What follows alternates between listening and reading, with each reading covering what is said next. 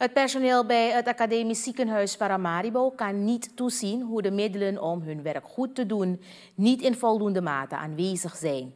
De Algemene Bond van Personeel bij AZP, die wordt voorgezeten door Lloyd Pool, stelde gisteren tijdens een persconferentie dat zij bij de overheid zal blijven aandringen op de garantie van middelen, opdat de kwaliteitszorg niet bergafwaarts gaat. Als bond binnen de instelling kan je niet toezien dat er geen middelen zijn waarmee de mensen moeten werken. Want het gaat om medicatie enzovoorts. We hebben het zo net ook aangegeven. Wanneer we praten over de lichtdagtarieven en het verhogen van de bedragen voor diensten van, voor welke het ziekenhuis verder ook verleent, gaat het niet alleen over personeelskosten die gedekt moeten worden.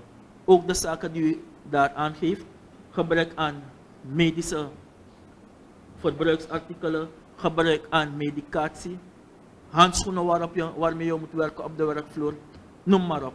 En dat maakt het ook nog zwaarder voor het personeel om het werk adequaat te kunnen doen. Want het personeel wil natuurlijk de zorg op een hoog niveau houden en dat adequaat kunnen verlenen. En daarzonder gaat het niet kunnen. Dus 100% komen we ook daarvoor op.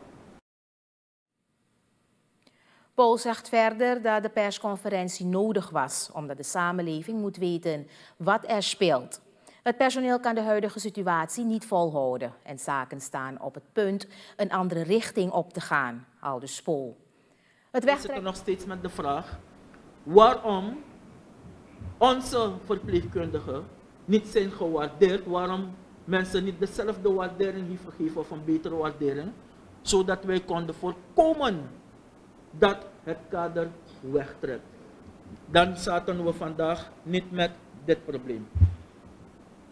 Ook binnen het systeem van SZF, ook daarmee hebben we problemen.